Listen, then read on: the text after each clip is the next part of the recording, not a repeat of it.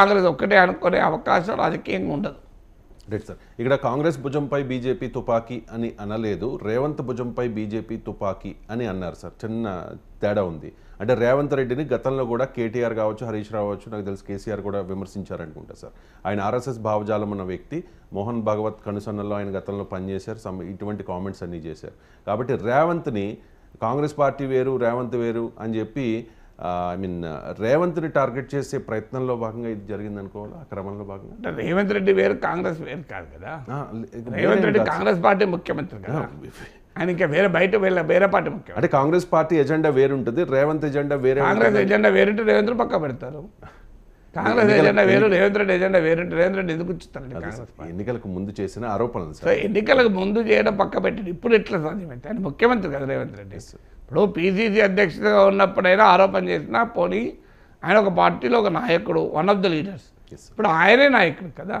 అంటే ఆయన ప్రభుత్వాన్ని ఆయనే నాశనం చేసుకుంటాడా? ఇప్పుడు కాంగ్రెస్ పార్టీ ఎజెండా వేరు రేవంత్ రెడ్డి ఎజెండా వేరు అంటే అర్థం ఏంటి? రేవంత్ రెడ్డి తన ప్రభుత్వాన్ని తానే నాశనం చేసుకుంటాడా? ఎవరు నమ్ముతారండి ఈ లాజిక్లో మనం కామన్ సెన్స్ కూడా అందదు కదా. రేవంత్ రెడ్డి తన చేతుల మీదుగా తన ప్రభుత్వాన్ని నాశనం చేసుకుంటాడా? అంత అమాయకుడు ఎవడన్నా? సో అందువల్ల ఇప్పుడు రేవంత్ రెడ్డి బీజేపీతో కలిసి కాంగ్రెస్ ప్రభుత్వాన్ని కూలుస్తాడా? ఆయనే కదా ముఖ్యమంత్రి. పోనీ ఆయన ముఖ్యమంత్రి పదవి పోతుంది పోయే ప్రమాదం ఉంది అని అన్నప్పుడు లాజిక్ ఉంటుంది ఇప్పుడు ఏది లేదు కానీ ప్రశాంతంగా ముఖ్యమంత్రిగా ఉన్నాడు కదా.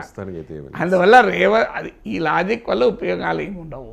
అందువల్ల బీఆర్ఎస్ బీజేపీ వ్యతిరేక ఫైట్ను ఇంటెన్సిఫై చేయడం ద్వారా తనకు బీజేపీకి సంబంధం లేదు అని ప్రజలు నమ్మించగలుగుతుంది. కానీ బీజేపీ వ్యతిరేక ఫైట్ బీఆర్ఎస్ చేయడం లేదు. పైగా బీ బీజేపీ భాషలో బీఆర్ఎస్ నాయకులు మాట్లాడుతున్నారు. కాంగ్రెస్ పార్టీ డిఎన్ఏలోను హిందూ వ్యతిరేకత ఉంది. ఈ- ఈ స్టేట్మెంట్ ఎవరిది? బీజేపీ వాళ్ళది కదా. ఇప్పుడు కవిత మాట్లాడిన స్టేట్మెంట్ క్లియర్గా బీజేపీ స్టేట్మెంట్ అది. ఒకవైపు ఏమో బీజేపీ నాయకులాగా మాట్లాడుతూ మరోవైపు మేము బీజేపీకి వ్యతిరేకంగా ఉన్నామంటే జనం నమ్ముతారా? సో అందువల్ల ముందు బీఆర్ఎస్ అర్థం చేసుకోవాల్సింది ఏంటంటే బీఆర్ఎస్కు బీజేపీకి సంబంధము లేదు అనే అంశం ప్రజలు నమ్మాలంటే మోడీ ప్రభుత్వ విధానాలపైన బీఆర్ఎస్ పోరాడాలి.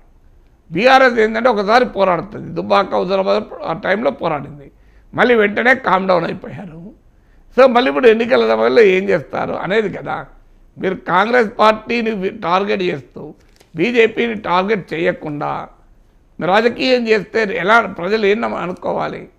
అందువల్ల రేపు కాంగ్రెస్ పార్టీ బీజేపీని కాంగ్రెస్ని బీజేపీని బీఆర్ఎస్ ఇద్దరిని విమర్శిస్తున్నారు కదా. ఇంకా వాస్తవానికి ఇంకా రాబోయే కాలంలో పెరుగుతుంది. ఇప్పుడు రాహుల్ గాంధీ భారత్ నాయయాత్రలు ఎవరిని విమర్శిస్తున్నారు? బీజేపీని కాదా? సో అందువల్ల బీఆర్ఎస్ చేయాల్సింది ఏంటంటే వారు స్ట్రాంగ్ యాంటీ బీజేపీ పొజిషన్ తీసుకుంటే అప్పుడు బీఆర్ఎస్ నమ్ముతారు. బీజేపీకి వ్యతిరేకంగా కాదు అని.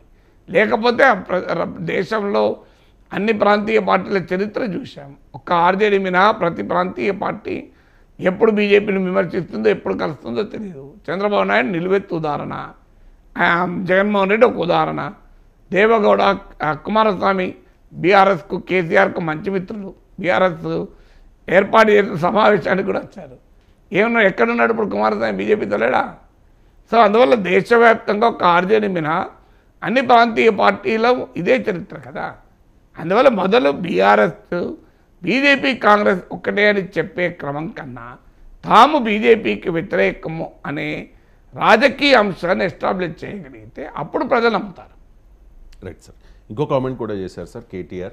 ఈ మధ్య ఎన్నికల్లో ఓటమి గల కారణాలపై పోస్ట్ మార్టం నిర్వహిస్తూ ఉన్నారు. చాలా కారణాలను కూడా కనుగొన్నామని చెప్పారు. వచ్చే ఎన్నికల్లో